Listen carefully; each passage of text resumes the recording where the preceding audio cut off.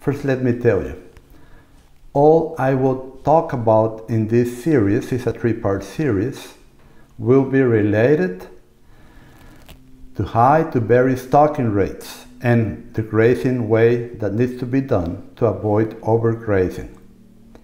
Why do I, I, I am so passionate about high to very high stocking rates? Because that's what determines profitability on a ranch. Selective grazing, by definition, harvests only a portion of what's available in a paddock. It can be from 10 to 30% to 50%. The rest, the leftovers, will be left behind. And then the cows are moved to the next paddock. This means that they move faster around your farm or ranch and they come back sooner to regraze the regrowth. Total grazing, on the other hand, has a higher harvest efficiency, where we harvest from 80 to 90% of what's available in the paddock before moving the cows on.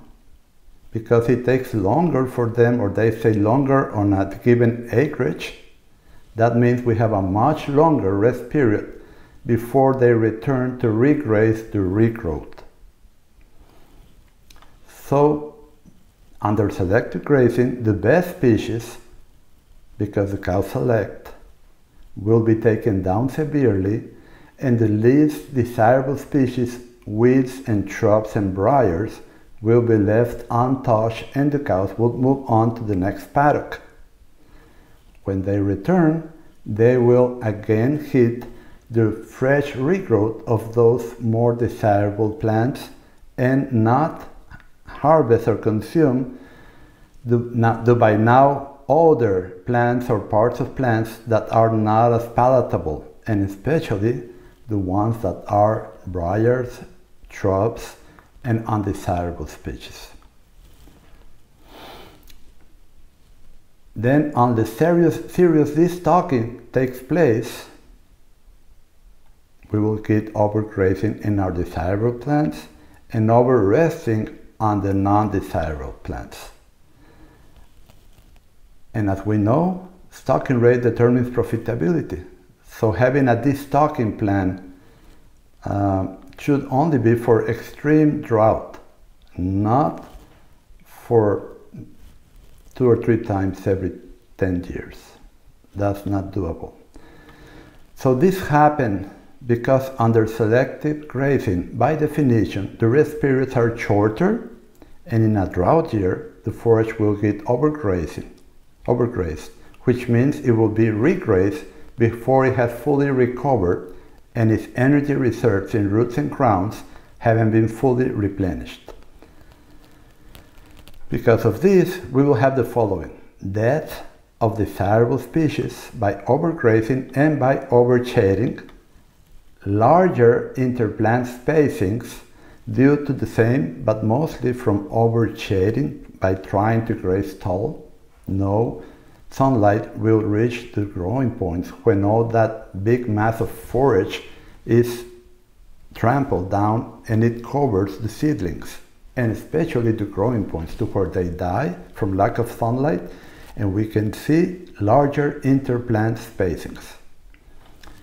As you know, stems consume energy and leaves produce energy. Stems consume energy by respiring and leaves produce energy by photosynthesis.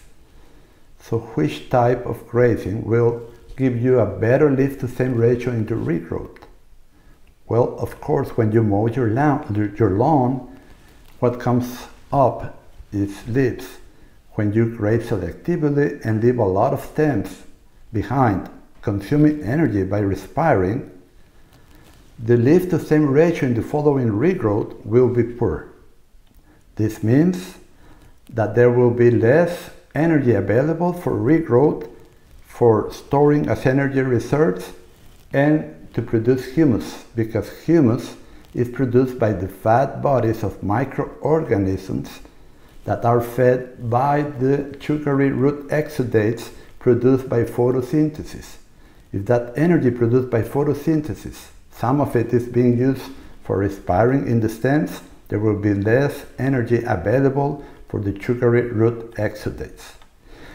When we consider how plants grow and how they regrow after different types of grazing, we know and we understand why total grazing gives you a much better leaf to stem ratio than selective grazing.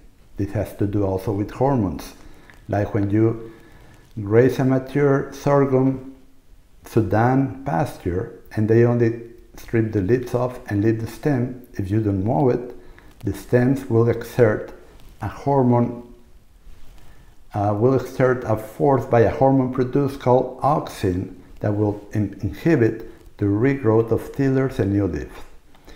In our total grazing course, online course, you will learn exactly why a total grazing is a must when you do high stocking to very high stocking rates, which is necessary for profitability at these economic times.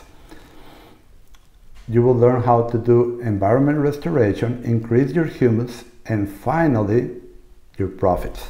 You will also improve your forage biodiversity with the best species returning. This total grazing online course will improve your profitability as it is based on proven low-cost biological methods that really work.